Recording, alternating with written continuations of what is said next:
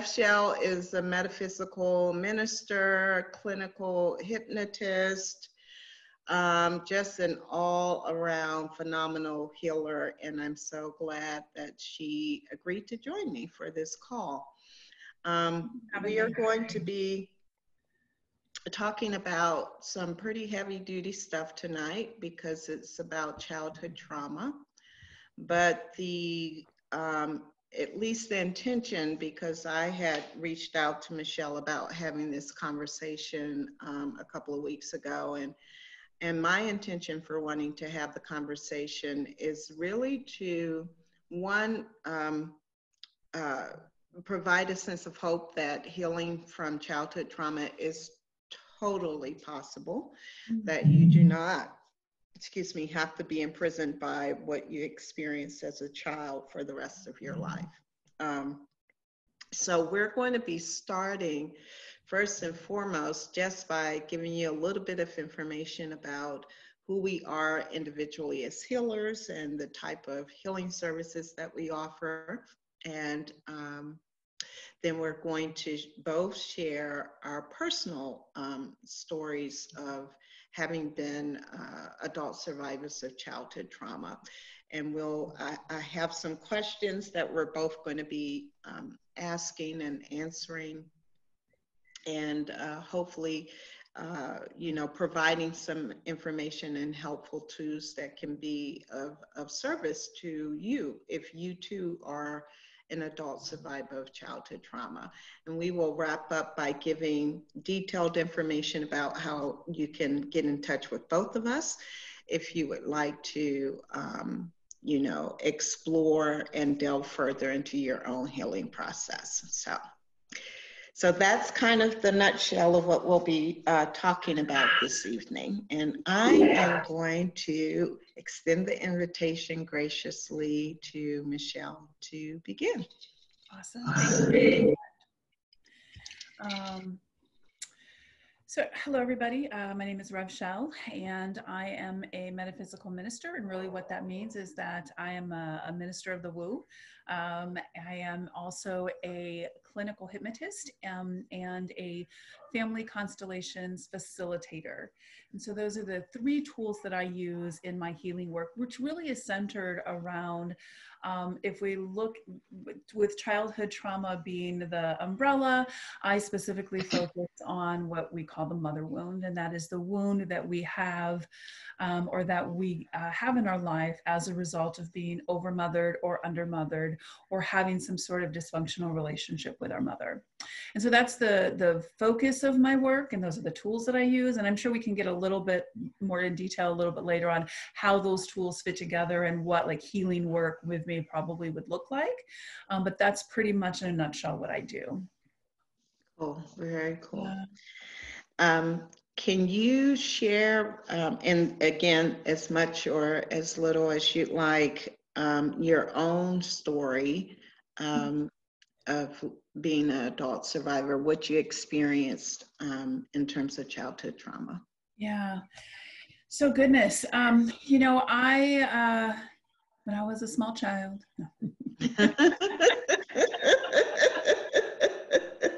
We've all been um, before. Yeah, little girl. So I, uh, I was, um, I'm a daughter of a. I'm sorry about my dogs. Everybody's working at home these days. Somebody must have walked by the front door. Um, my Chihuahua is really the guard dog. Um, so I uh, I was uh, born to um, my mother when she was about 27, uh, but my mother um, was I think developmentally not um, not where she should have been at that age. Looking back, uh, I have suspicions that my mother um, suffered from fetal alcohol effects because her mother was an alcoholic. And I'm not quite sure when um, my grandmother's drinking started, but the stories that I get really are all about um, her being an alcoholic from very early age. So I'm, I, I, suspect that my mom, while she didn't have fetal alcohol syndrome, I think that she had fetal al- alcohol effects, which really impaired her ability to, um, to make good decisions. Like she just didn't have that skill set. Uh, my mother was also um, the the oldest daughter. Uh, I'm sorry, My mother was the baby, actually. I mean, I mean, yeah, because, well, I think she was the baby. I actually have to go back and look at that. um, anyway, anyway, the wound that my mother carried was that she was very rejected from her mom. Um, I don't think that my mom and her mom ever got along, and my mother carried the wound of rejection her whole life.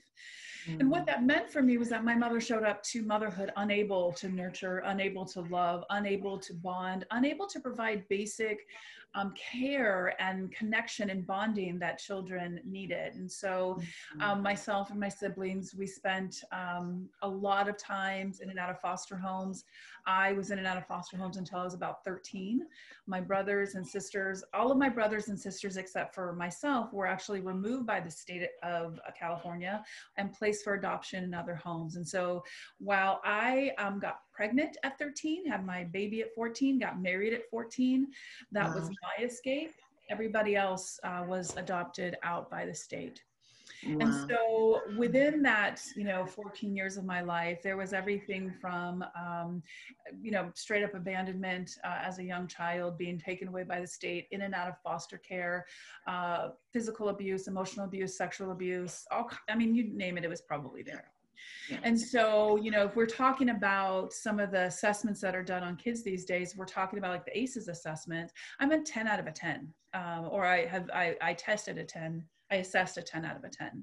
Yeah. Um, so if we're talking about how I sit right now, uh, I feel incredibly fortunate. I feel incredibly privileged. I feel incredibly blessed because somehow I made it out of all that Yes. Um, I didn't come out unscathed, and I can talk about some of the ways that that that that experience as a child really shaped my my adulthood, and even still some of the ways that I have to actively um, uh, walk in, with it. I have to walk with intention in healing. Yes because it's you know there's there's wounds sometimes that we can do a lot of healing work but it's patterns and subconscious narratives that really keep our those stories alive not just in our mind but really in our bodies. Yes. and so you know we um, i feel really fortunate in that i got early intervention. I always remember you know as a foster kid back in the 70s and 80s they were really big on therapy and making sure that I went to group counseling and making sure that I had intervention. I don't think it's like that now. Um, I, I, mm. I, I, I, feel like the system was less overloaded than it is now, and so there was this mm. there was this uh, availability of services and resources that I don't think kids these days have. Right. Uh, and I've had this this um, resiliency that I think came from the moments that I was in really good foster homes where mm. I was able to really co-regulate and get um, love mirrored back to me from very yes. trained foster parents. Yes. Wasn't always the case, but I think those small moments of being able to feel what it meant to live in a normal home, to get love and affection and be cared for really made such a difference in the Absolutely. way even that I framed my experience. Yeah. So yeah, totally. that's yeah, that's kind of my story, you know, as far as childhood. Yes. Yes. We can get into how it affected me as an adult later if you want to. yes. Well, thank you for sharing that. Um, and um, I guess I'll I'll do the same. Um, my my name is Amma Tanya, and I am a holistic healer. And so, what does that mean? It means that I work holistically with clients to attend to the physical, the emotional, mental, um, spiritual, energetic um, body, um, like you know, Rev Chelle was mentioning. Sometimes, um, oftentimes, trauma is not just a psychological and emotional experience, but it's also carried on a cellular level in the body and energetically. So, um, my story is that I, I'm originally from Washington, D.C., born and raised in Southeast D.C. Um, and my my mother's side of the family originates from the eastern coast of North Carolina. So, um, speaking of you know uh, family lineage and how these wounds are carried from one generation to the next, mm-hmm. my grandmother, maternal grandmother, was an alcoholic. Left her husband for another man abandoned her children in the South for temporarily because she sent for them one by one. Um, and moved her children ages probably six, seven, eight years old. I think my oldest um, aunt was maybe in her teens when they were moved to to the north. Back then, a lot of black families migrated north from the south. So I came to be born in D.C. because of that migration, and um, uh, you know, my mother's mom was a, a, severe alcoholic, and so she died relatively young in her 50s. Um, and so, being the matriarch of the family, the family kind of dispersed and kind of went their separate ways. Um, mm-hmm. Although we still kind of lived in the same vicinity of one another. Like if my mom and I had an apartment downstairs, which I was my mother's only child, uh, my aunt and her two children would be upstairs. Mm-hmm. So we were still a pretty close knit family. Um, dysfunctional as hell, poor, um, poverty added to you know the experience of trauma, and during the 70s there was a lot of experimenting with drugs and you know mary jane and all of that and so that creeped into the family and became an issue mm-hmm. um, my mother uh, lived with clinical depression. And during that period of time, there wasn't a lot of education about mental illness and the proper treatment of it. So, especially within the Black community, because it was so stigmatized. Yeah. Um, but my mother was in and out of the hospital a lot. And when she would go into the hospital because of a psychotic break, I would stay with a maternal aunt, her, her younger sister, um, my Aunt Maddie. And um, unfortunately, Maddie would, got really like strung out on drugs and would beat the crap out of us, literally, uh, myself and her two children. And so the nurse found bruising on me one day, took me out of the home, and that was my introduction into the foster care system. Um, I was fortunate in that I didn't have multiple foster homes. Mm. I think my first foster home was with uh, a preacher and his wife. And then for a time, I stayed with relatives. You know, we were kind of like, you know, I was tossed from this relative to that relative for the paycheck, the government Social Security check, you know. Um, so I experienced most of the physical and sexual abuse that I lived through with family, mm-hmm. which is not uncommon, mm-hmm. um, unfortunately. And so um, my life wrath came with my final foster home with a woman by the name of Anna Mae Pfeiffer. Mm-hmm. And I love how you speak of you know, those snapshots of moments when you had um, mirrored back to you what love felt like and mm-hmm. what normalcy felt like. Yeah. Well, Anna Mae Pfeiffer, AKA Grandma, because I had a choice. She told me, you can call me Grandma or you can call me Ma. I chose Grandma, mm-hmm. um, was that for me. And I always credit Grandma with being the first adult in my life who ever made me feel as if I was lovable, ever. Mm-hmm. Um, and she literally was she, i truly believe her love saved my life as as it did for all of her foster kids. Yeah. Um, so um, yeah so that's my story. I can go on about other things as well but that was my um, experience of, of childhood trauma. So i'm going to ask you another question uh, michelle what would you say is the one pivotal event um, that you experienced as a child that is responsible for shaping some of the dysfunctional life patterns that you experienced as you grew up? Yeah. You know, that's a hard one because I don't know. And I think, especially understanding family systems in the way that I do, I don't know that there was like one thing. If I could have, if I could say that there was one theme, uh, or there was one thing that I carried, um, or that shaped uh, the future behavior of how I carried my childhood trauma, that one thing was not belonging and it was rejection and it was shame. Right. So, mm. not belonging and rejection and shame has really, it shaped so much of my future in the ways that I would learn to love by giving away parts of myself the ways that I learned to connect by ignoring all of my needs and caring only for other people. Um, it was the way that no matter what I did to connect and belong with someone, it never felt real and whole. Um, it was this feeling like whatever space that I was in, I didn't belong there. And I think that that really came from going from foster home to foster home to foster home and really having that early imprint of, of this, you know, of not having that that safe space to land, that uh, forever home, that constant yes. space where um, you know I knew was the was the space that I could land, and I just didn't have that.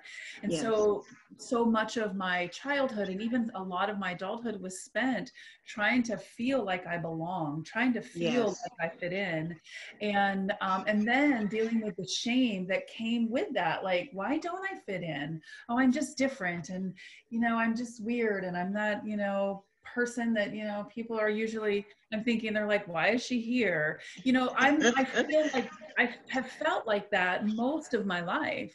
And yeah. really at the core of it that feeling of disconnection not belonging was from uh, the generational wound of yeah me not belonging with like not feeling connected and bonded with my mother.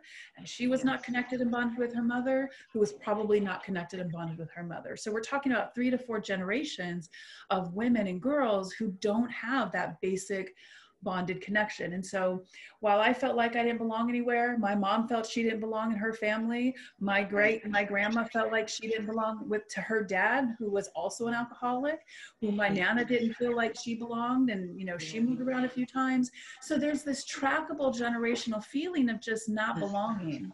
And yes. that shapes so much of the things that I would do to get that sense of belonging. Yes. Yes totally understand that.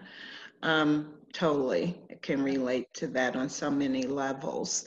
Um, for me, the, it, there was that overarching theme of where do I belong, and and and a sense of um, of uh, something being wrong with me. There has to be something inherently, truly fucked up about me. Yeah. And the reason that that was so deeply ingrained was based on, I would say, the one pivotal experience that really was like the driving force behind that negative core belief was the suicide of my mother. Mm-hmm. Um, and so, um, which she, she, you know, as I said, she suffered with clinical depression. And so she lost her battle to clinical depression and, and took her own life when she was just 27 yeah. and I was 8 mm-hmm. So um, that message does something, you know, that, that, that message says that if your own mother didn't want you, who mm-hmm. else would? Yeah. And so there must be something inherently wrong with you. Mm-hmm. It has taken me most of my adult life to heal that because it it it um it was responsible for my sense of who I was and how I showed up in the world. Um, uh, speaking of which, just to kind of uh, piggyback a little bit off of something you said about when um, going from foster home to foster home, even though I, I only had a handful, it was still enough to kind of set the, the, deeply ingrain this message of not having a sense of stability, which on a cellular level, you never really come to complete rest. Mm-hmm. You know, it's almost as if you always have your antenna out you know mm-hmm. am i being good enough am i going to be am I, will i have to pack up my trash my my hefty trash bag now and leave again you know you never quite settle into a feeling of safety and security which mm-hmm. is a very basic foundational human need mm-hmm. that when it's not met, your foundation just for your very existence is off. Mm-hmm. So um, I, I, I, wanted to touch on that because so much of some of the dif- dysfunction and how it played out in my life was constantly moving. Yeah. I could never stay in one place for too long. Um, I can't tell you how many times I've moved in my life, probably close to, I would say, pushing upwards of 70 something times in my life, and I'm only 49. Mm-hmm. So you do the math. Yeah. Um, so, but those are some of the um, uh, uh, negative um, impacts that resulted from that pivotal. I mean, yes, was the abuse horrific? Yes. Was being sexually assaulted as a toddler horrific? Yes. And those memories were recovered later, mm-hmm. by the way. They were repressed memories that I recovered um, through therapy. Um, but I think if I had to pinpoint the one defining moment would be my my mother's suicide you know it it, it shaped and colored everything i can imagine yeah. yeah um let me see what my next question is for you um, I ask you question too. Yes, please, please, yes, do please. do, do ask away. What do you? This is a really kind of, yeah, I think this is a good time to kind of segue into as an adult survivor, like what our triggers are and how. So, one of the questions that you had was as an adult survivor of trauma, we become acutely aware of both what our triggers are as well as our coping mechanisms, which help us manage them most, uh, of which we developed uh, that helped us survive the trauma that we endured as a child. So, like, mm-hmm. what triggers do you have that um, uh, you know, and I've got interesting ideas about triggers, right? But yeah. really, I think what this is saying is what coping mechanisms did you have to create within you and in your life just so that you could survive? And then how yeah. did they become triggers for you later on in life? Yeah.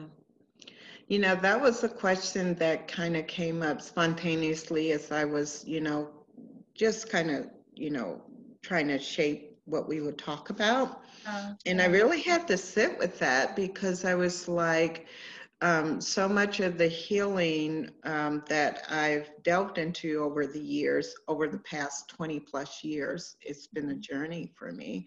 Mm-hmm. Um, uh, I don't have as, I recognize that I don't have as many triggers now as I did early on in my life. Mm-hmm. But I will say that um, uh, anything when I was in relationship with people, whether it was a friendship or a romantic relationship, mm-hmm. any indication, whether it was like totally distorted or not, that someone was possibly getting ready to leave triggered the hell out of me. Mm-hmm. And I was like, my anxiety would go from a zero to a 10 instantly. Mm-hmm. They could just be going to the store. They could just say that I'm going to, you know, go see my mom for the weekend. This happened a lot with my ex partner.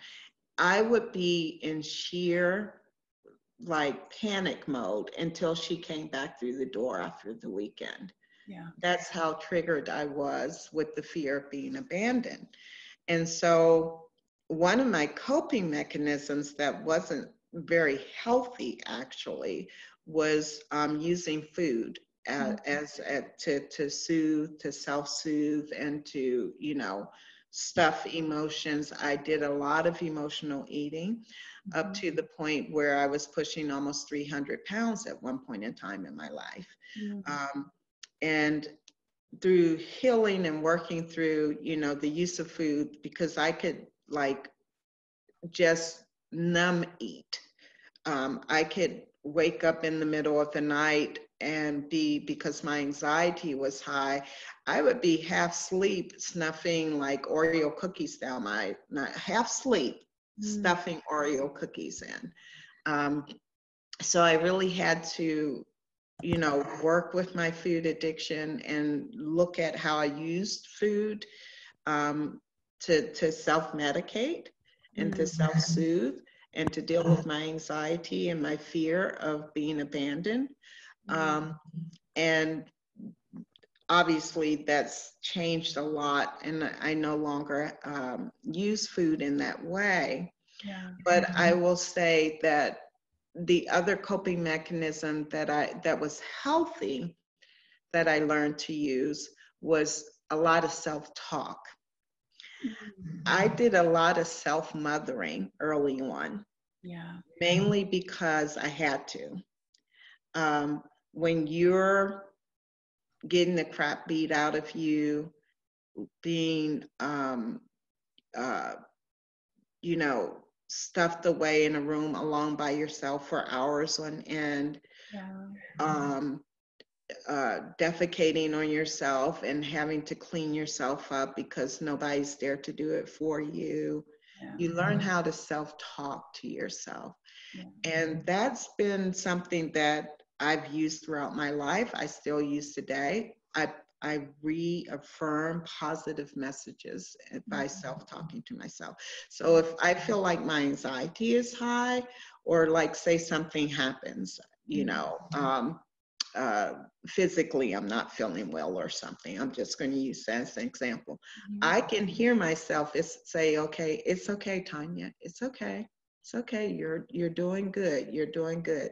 Like literally, that's a, a a coping mechanism that I learned when I was so little, and I still do that to this day. And it helps. It helps bring my anxiety down Yeah. um, several notches. What what a beautiful awareness at such a, a young age, um, because so often, um, you know, as kids who are experiencing those kinds of, of um, you know, that kind of abuse, we will internalize that and um, just move into self-hatred.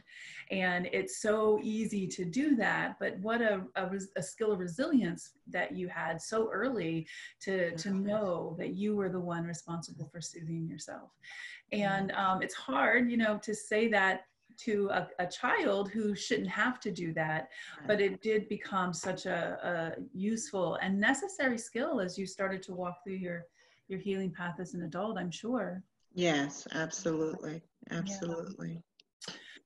i think for me um, so mm, what i really took uh, from childhood into my adult life was codependency and i took it in a big way. So whenever i would go to a new foster home um, Mhm. well let me step back so I wasn't the oldest daughter. I was the second to the oldest daughter, but I was the oldest daughter in the home. When so I have an older sister who was um, pulled away from the home when she was six. She was placed for adoption. She was she was no longer uh, uh, she was not in our with our family anymore when I was born. So I never really knew her. Okay. Um, I know of her. We are connected now, like on Facebook, and you know I know my nieces. But as a child, I didn't know her. So I was the oldest in the home. As the oldest in a home of a uh, of an addict, we become responsible for everyone and everything. And Mhm. even so much to the point was not only was I taking care of my mom when I needed to, I was taking care of my brothers and sisters when I needed to. I was covering for her addiction. I was making up the stories for school. I was, you know, making sure that nobody knew what was happening as much as I could because it was up to me to keep the family together. And I Mhm. remember at the final piece, like it was the culmination of uh, my mom's uh, like the deepest part of her addiction where i had left i had gotten married already. She was in a really bad way. My brothers and sisters were there and they were finally removed from the home. My mother called me um, and she said it is your job to keep your brothers and sisters together. Do not fail us as a family. And i remember i had enough awareness at that moment um, and it might have just been sheer um, uh, rebellion almost, where I said, That is not my job.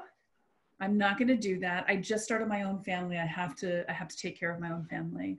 That didn't mean that I didn't feel every word that she said in my body because I had always known that it was my responsibility to take care of everybody, right? Yeah. But in that moment, I stood my ground and I said, It's not my job. My brothers and sisters found homes and they found their path and they are living their fate. And um, I honor them in their fate. I did not rescue them. But what I did do was transfer that over to everybody else, right? Gotcha. So um, what I did, ended up doing, and my biggest trigger is feeling like things are not in control. I wasn't like, I didn't need things to be perfect. I wasn't a control freak in that I had to have like this perfect aesthetic in my life. But if I felt like who I was with, or the family that I was existing in, or or you know, even my kids as adults, if I felt like they weren't doing it right in the way that I knew could get done because I had been on my own since I was 13. I knew how to get shit done. I mm-hmm. knew what needed to happen and nobody else knows better than me, right? Cuz that's that's the existence that I had to live in. So anytime anything started to go awry, my codependency would kick in in high gear and I would take charge and I would make sure stuff got done and I would make sure that everybody had what they needed and I would do that to the point of exhaustion. Mm. And I remember, like in foster homes as a kid, I was the one who would make sure all the kids were taken care of if we were in a mean foster home, right? So I would take them under my wing, and I was the mama bear, and I was the one that made sure everybody ate and everybody's hair got combed. And, you know, it was just this that's just who I was. And so, of yeah. course, I'm going to yeah. take that, you know. Yeah. I become the helpful one. I become the compliant one. I become the one that makes their life easier so I can belong.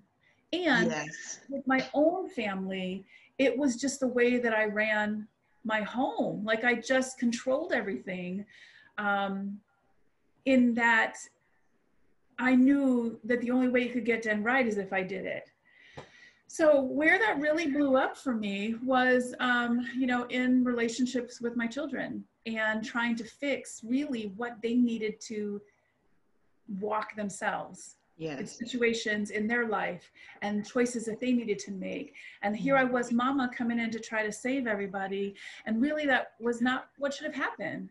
You know, right. should, right. we need to let our adult children go into their own life and make their own decisions. And so, um, you know, one completely separated from the family and and we're is very estranged and you know i think we're slowly working on trying to come back but there's just a whole bunch of layers there that we have to as a family you know dissect and go through mm-hmm. um, with my daughter it was about me rescuing her because i didn't feel like i felt like I needed to, right? Like she needed me too, when in fact it was probably the worst thing I could have done for her. Right, right. Yeah.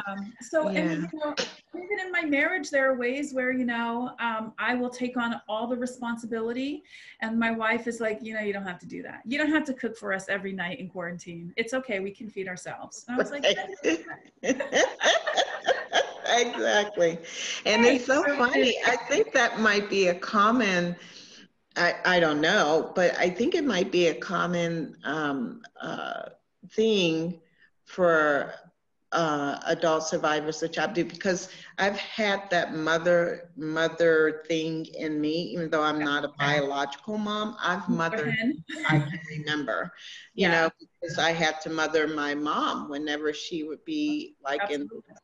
in, you know, um, belly of her depression, she was totally incapacitated. Yeah. So I, you know, it was all about. I can remember this one particular time. Remember how we used to have those um, bake sales at school? Yeah.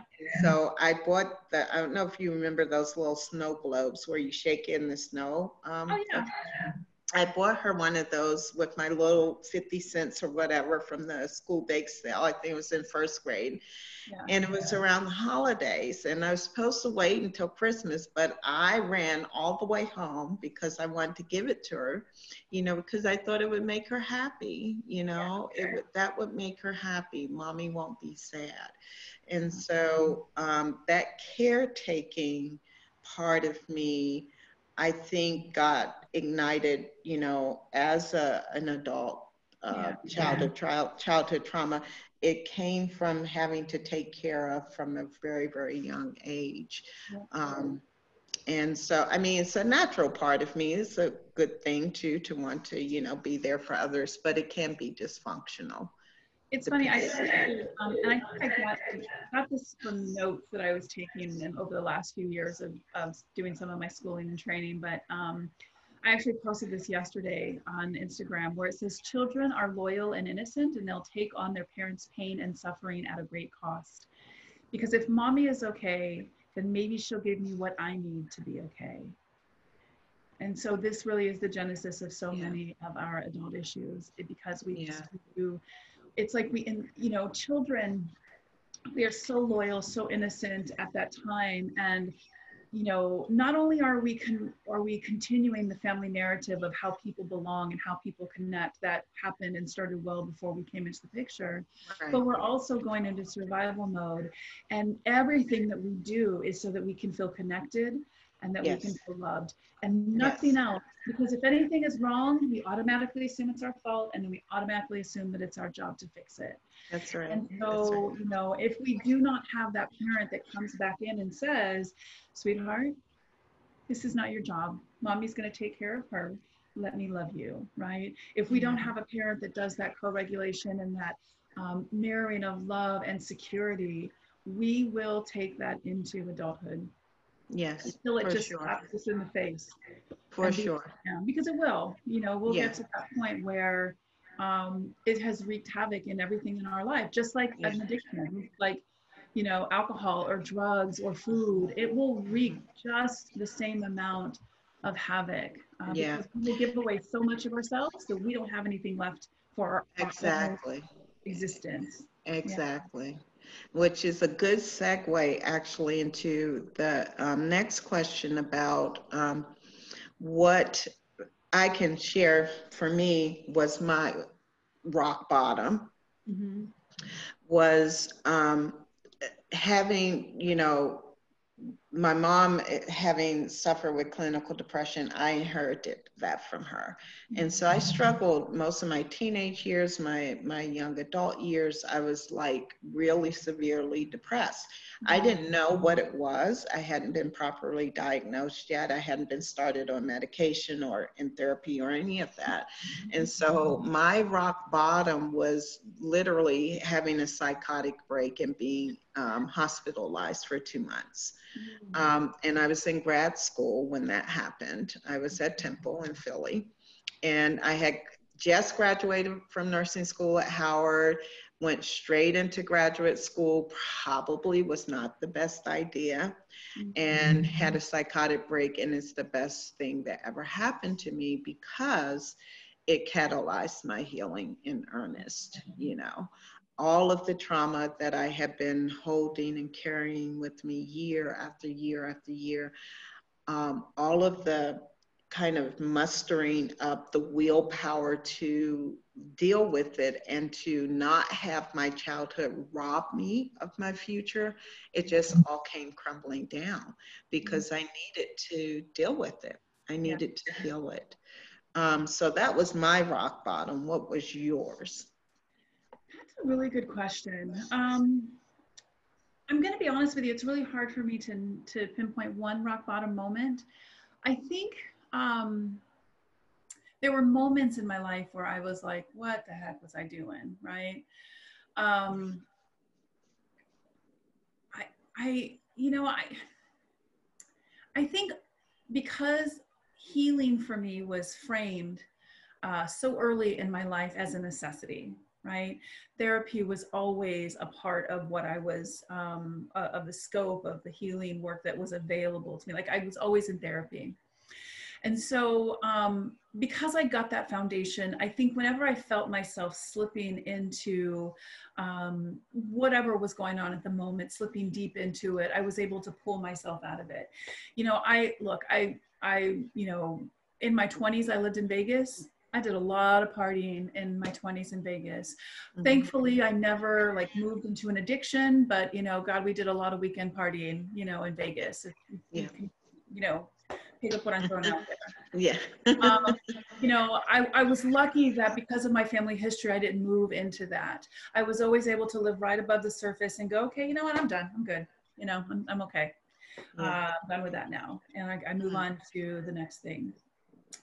I think the, the biggest pain that I had in my life um, that I carried for the longest time, you know, besides what I was dealing with with my, you know, just caring from my childhood and my disconnection from my mom, was how that also played out in the disconnection with my own children, in the divorce that I experienced with their father, in the separation that I had with them for a long period of time, and in the ways that I didn't fight for them in the way that I thought that I should have. Um, in that time, I carried a lot of grief and a lot of shame and a lot of um, a lot of pain around, you know, not only not being able to show up for them in the way that I wanted my mom to show up for me, but also in just the, you know, the the haunting of, oh, they must miss me and I miss them, and what am I doing to them? And that pain lived with me for a long time.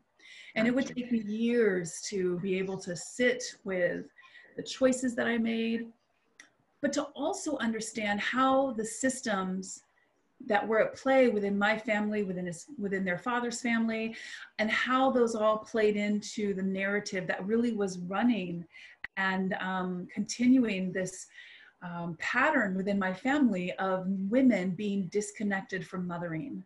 It was a systemic pattern that I didn't even know was there. Yeah. You know, I knew that like my mom, you know, she didn't raise her kids. I I was now repeating the same thing for quite a few years. And I knew that happened. But when I got into the work that I'm doing now, where I'm really I map the trauma and I map the narratives and the generations of trauma within families, I'm able to see how really systems marry systems yes. and they continue narratives until somebody stops to heal it until That's somebody right. says, okay, this is where the pattern stops. And I'm going to do whatever I can to make sure that this narrative does not continue forward in our family. And it wasn't until probably in the last three years where I started doing that really deep body centered healing work that yes. I really understood all of that. Where I could even go, you know what? I tremendously love my mother.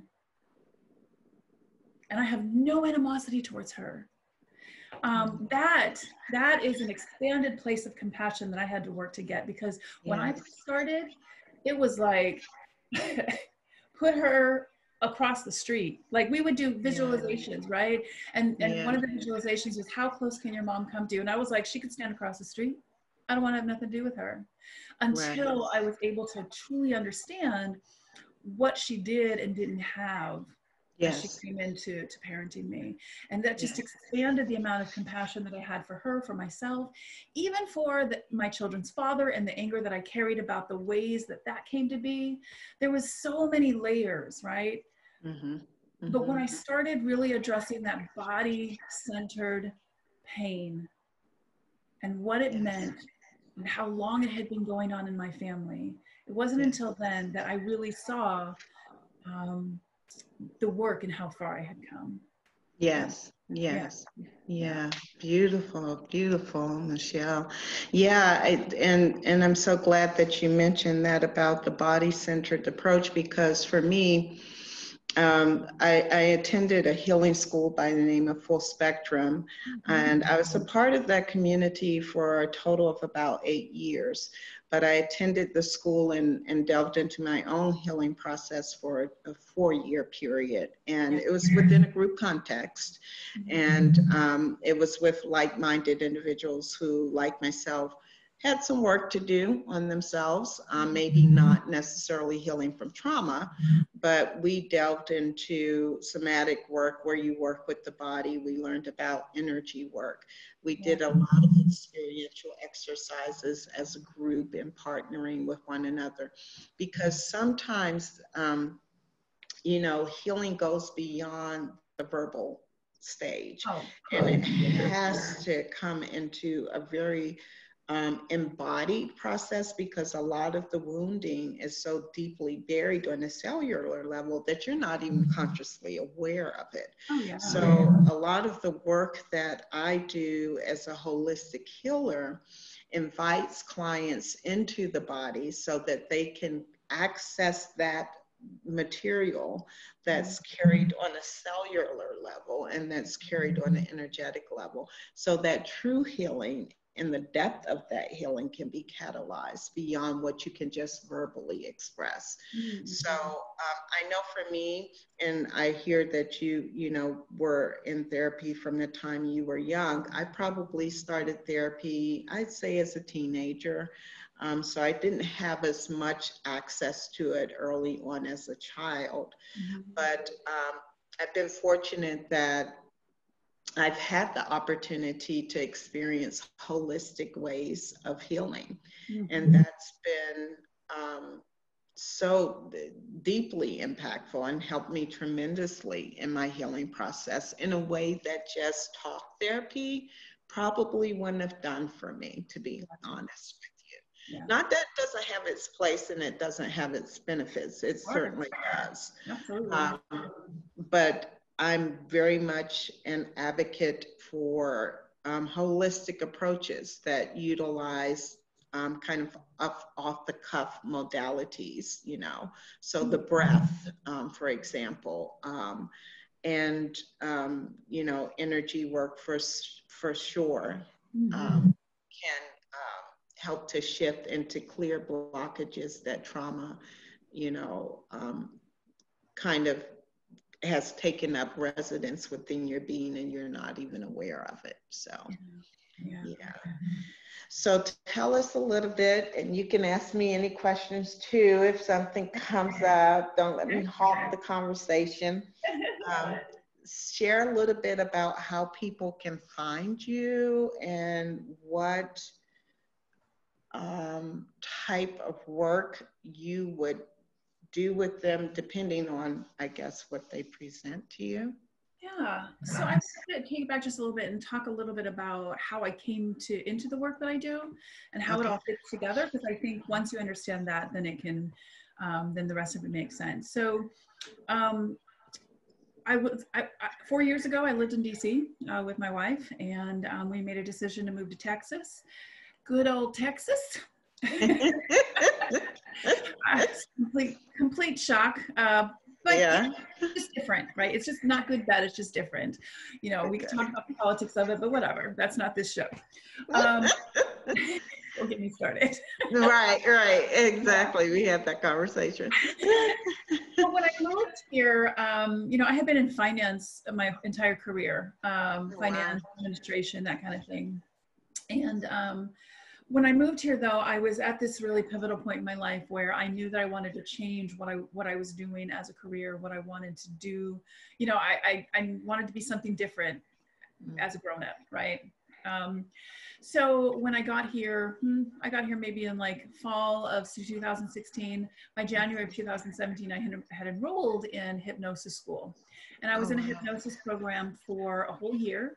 And I learned advanced, um, you know, master level tech techniques for cellular level healing and hypnosis. And so um, it was a fascinating program for me. I learned so much about the way that the mind works, the way that the mind and the body are connected, how we are, you know, really, really about what it means to be a, a triune being of mind, body, and spirit, yes. and how they all work together. Um, and so when I was done, I opened up my practice and um, I started seeing clients. I knew that I wanted to focus on uh, women uh, and their trauma and healing because of my own background. I mean, why not just do what we know, you know? Yes. yes. So I started that practice and um, I was, you know, going and chugging along. I had a podcast. I think you were on my podcast yes. called The Healing Toolbox, mm-hmm. and um, I it was a, a, a podcast about um, building your healing toolbox so that if something comes up within you, you have resources and tools that you could go and grab and start to implement right away. So I, one of the women that I wanted to interview uh, was, um, her name was Joanna Lynn and she ran the Family Imprint Institute.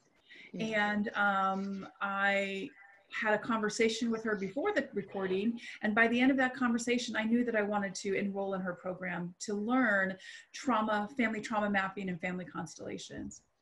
The work she does is based off of uh, a, a, healer who has long passed, he passed last year actually, but his name is Bert Hellinger. He is the founder and the creator, or really the expander of the family constellation therapy work. Um, and then um, he had a, a, gentleman that studied under him by the name of Mark Wolynn. Mark Wolynn wrote a book called It Didn't Start With You, which is a book that changed my life completely. And I highly recommend anybody who wants to get into generational work, yeah. whether it's on yourself or other people, read that book because it is life shifting. Joanna Lynn was a student of Mark Wolynn's, and so I knew um, that she was well trained. She had, a, you know, a, a, a amazing pedigree of of um, training and knowledge behind her and within her. And before we got off that call, I, I was like, where do I enroll? I went through her training class for another year to learn family um, mapping and constellations. And, you know, we enroll in training programs and we're like, I'm going to learn this new thing. Right. so that cracked me open like I'd never been cracked open in my life. Like, I was not, I was not prepared. I was not Yeah. ready. yes. I was ready. I was, That's it. That's I'm in control. I'm in control. I, I Right, right, I'm in right. control. girl, let me tell you about the ways my soul healed. and she's so gracious and so full of Uh, yeah, has to be she's a beautiful spirit. Yeah, Yeah. she really does. And so I finished her program, and about halfway through her program, I felt um, really drawn to expand the work that I did with women to focus in on using uh, mapping, the systemic mapping of the family and the generational trauma, pair Yes. that with family constellations, which is an experiential healing process that allows you to take that story that you carry about your family inside of you, really to bring it out of you and Yes. move it into resolution resolution using Yes. the body Yes. and then as, yeah because that's the important piece you know when we can't complete an emotion because we don't have the ability to because we can't because we're not safe to or whatever reason our trauma builds up Yeah.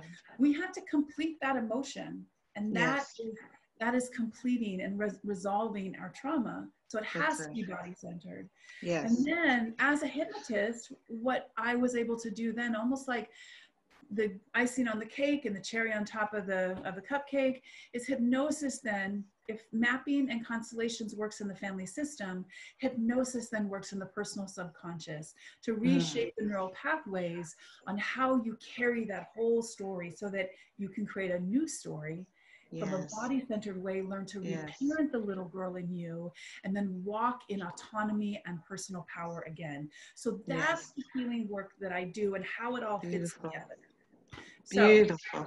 yeah, I love it. I have, I will never do anything else. This is what I want to do for the rest of my life. I have finally found my purpose, and it feels good to be walking in that. Yes. Now, how do I shape that so that people can work with me? Private Mhm. sessions. I do private session work. Um, but I also have this year, I'm super proud of myself. I've written, I've written two workbooks.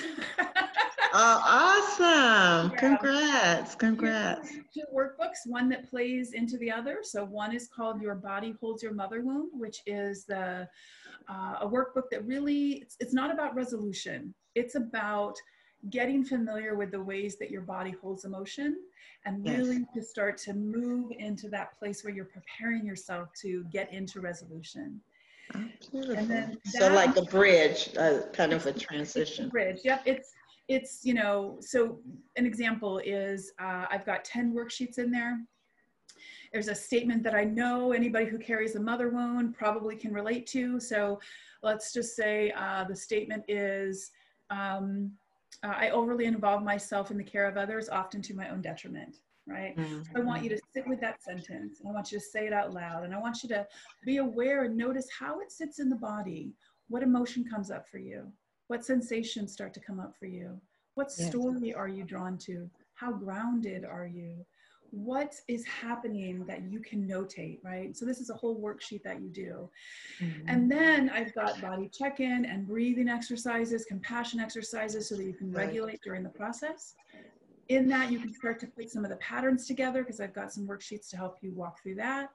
And then you can move into my big workbook, which is called Mapping Your Mother Wound, which really is a self paced process of the whole family mapping process that Mm. allows you to walk through putting together the families or the stories in your family tree and starting to put together those dots, starting to understand why you do that thing that you do.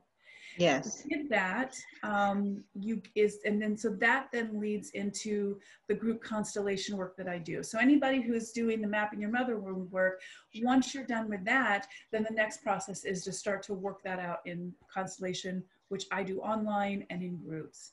And um, and then I all that work I also do individually with people.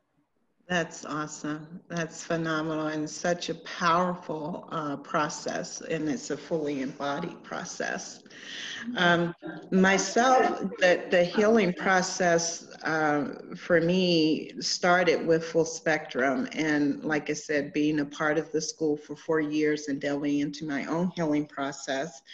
Um, but then I stayed on for an additional four years as a, a in the teachers program, I guess yeah. you could say, to to go into more depth about the healing process, and mm-hmm. that was hugely beneficial for me. Um, in addition to that, I've been blessed to work with um, alternative healers outside of full spectrum, both in mm-hmm. Peru as well as here stateside. So I've been fortunate in, in terms of learning more in depth. Um, uh, techniques about how to work with people energetically. Mm-hmm. But the other piece of this, and I failed to mention this actually when we were sharing our stories, is that since I was a very young child, I've had the gift of um, sight, of being con- able to connect with the realm of spirit. Yes. And so my gifts of mediumship and being able to connect with those who have transitioned from the body has always been an integral part of my life. And as I've developed my healership style, it's been a part of my healing services as well. So some of the ways that I work with people, I work individually one-on-one with people in sessions and work.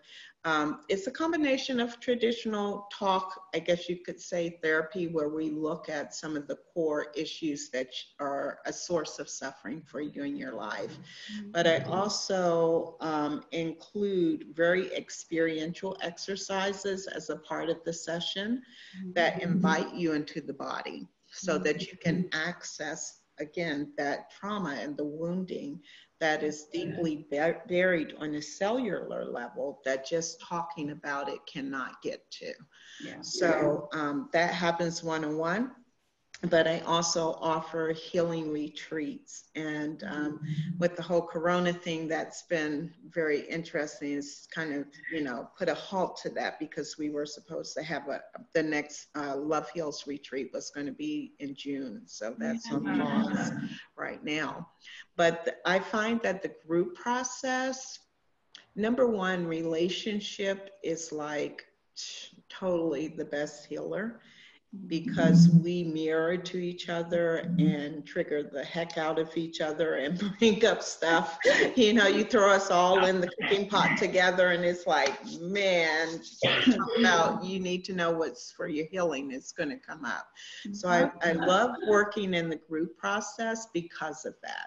Yeah. And so the healing retreats that I offer um, are for groups and, and it varies. I've had as, you know, very small intimate groups of six people. I've had upwards of 20 to 30 people in a group. So it just really depends.